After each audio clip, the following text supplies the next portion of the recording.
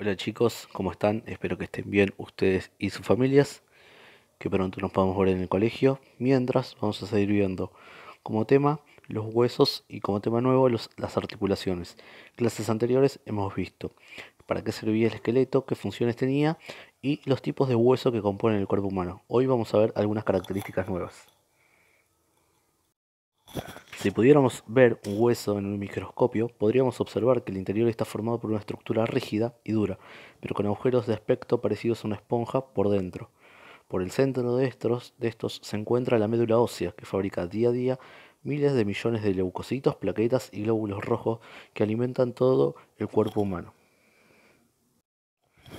En el exterior encontramos el hueso compacto, que presenta una estructura en láminas circulares.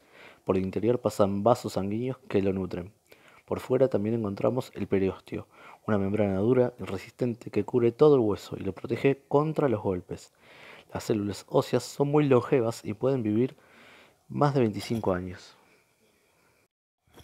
Las articulaciones. Llamamos articulación a la estructura anatómica que permite la unión entre dos huesos o entre un hueso y un cartílago. Las articulaciones son estabilizados por los ligamentos, que unen los extremos óseos y tienen movilidad gracias a los músculos que se insertan en sus proximidades. Las funciones principales son constituir puntos de unión entre los componentes óseos, huesos y cartílagos, facilitar movimientos mecánicos del cuerpo y darle elasticidad y plasticidad al cuerpo. Clasificación de las articulaciones. Existen diversas clasificaciones de las articulaciones. Pueden clasificarse según su rango de movimiento, por su estructura o por, función. Nosotros vamos a ver según el rango de movimiento. Para comenzar tenemos las articulaciones móviles, también llamadas diartrosis o sinoviales. Son las articulaciones que tienen mayor amplitud de movimiento. Son las que unen los huesos de las extremidades con el tronco, los hombros o la cadera ligamentos impiden que los huesos se desplacen de su lugar.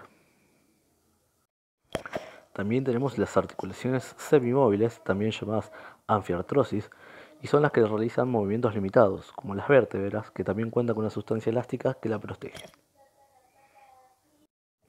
Por último, encontramos las articulaciones fijas, llamada también sinartrosis, y esta articulación no permite movimiento amplio, apenas se produce el movimiento.